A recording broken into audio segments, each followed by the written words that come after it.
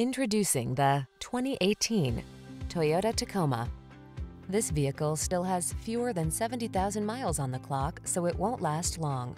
This rugged Tacoma has the features and attitude to answer your spirit's call for adventure.